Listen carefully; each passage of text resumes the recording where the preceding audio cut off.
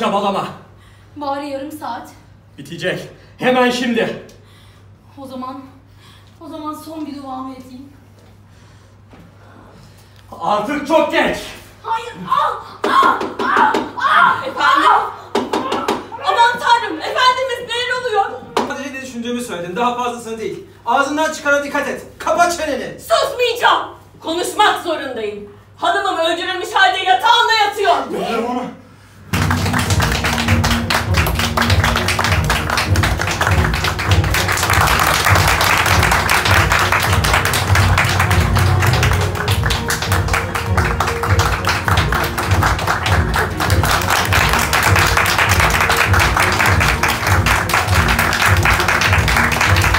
bir değerlendirme yapılacak sonra da parti başlayacak. Değerlendirmedense partiyi tercih ederim. Ama sevgili Lodovico'muz bize nutuk verme fırsatını kaçırır mı hiç? Bırakalım konuşsun. Hem bir şeyler yer içeriz hem de onu dinleriz.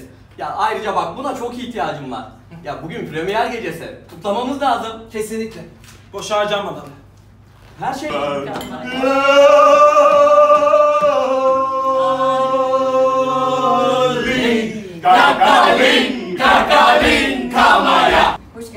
öncelikle. Teşekkür ediyorum. Her zaman bize destek oluyorsunuz. Çok teşekkür ediyoruz. Ee, Fazla Mesai Tiyatro grubunun oyunu 5. kat sahne için özel yalnızlık yine. Harika. Ee, perde arkası. Oyunumuz şöyle başlıyor. Kısaca özetleyeyim. Ee, Shakespeare'in Otello oyunuyla başlıyor. Onun final sahnesiyle. Final sahnesi oynanıyor. Sonra selamını veriyor oyuncular. Evet. Sonra arkaya gidiyorlar. Sonra e, oyun kutlaması başlıyor. İlk oyun kutlaması. Sonra oyuncular geliyorlar işte, işte kutlamaya başlıyorlar. Sonra başrol oyuncusu kutlamaya katılmıyor.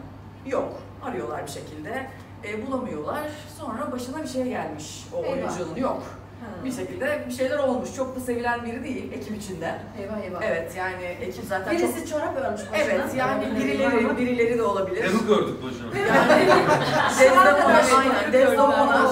Yani e, zaten ekip çok hırslı. İşte kıskançlıklar, rol savaşları, aralarında, kendi evet. aralarında çok fazla var.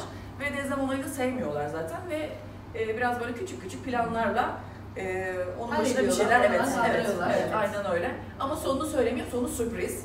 Evet. E, sürpriz sonlu bir oyun.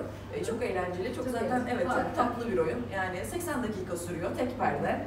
Böyle keyifli insanların izleyebileceği Harika. güzel bir oyun. Bu zamanda ihtiyacımız olan. Şu koca pençelerine bak ve bir kadının bedeninin ne kadar hassas ve kırılgan olduğunu hatırla.